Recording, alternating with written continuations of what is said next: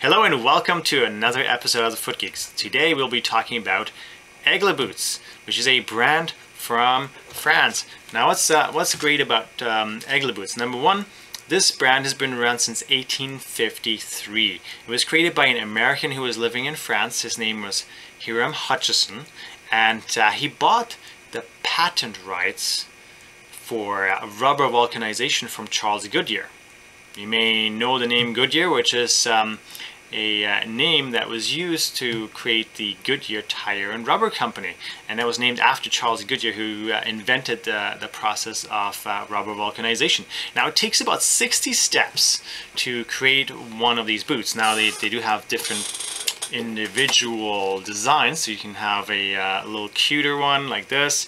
Uh, you can, may have something that's a little bit heavier. It has a little bit better tread on the bottom.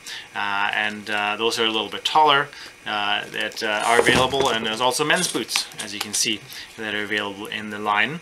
Uh, they fantastic every one single one of these pairs is checked for water tightness in the production process. And it takes about two years for a master rubber craftsman to figure out how to create a boot from scratch through those 60 steps. If you have any questions regarding Aigle boots or any comments, um, please comment below. If you have, uh, haven't done so already, we'd love for you to join us on YouTube, subscribe to our channel up here, and uh, have a fantastic day.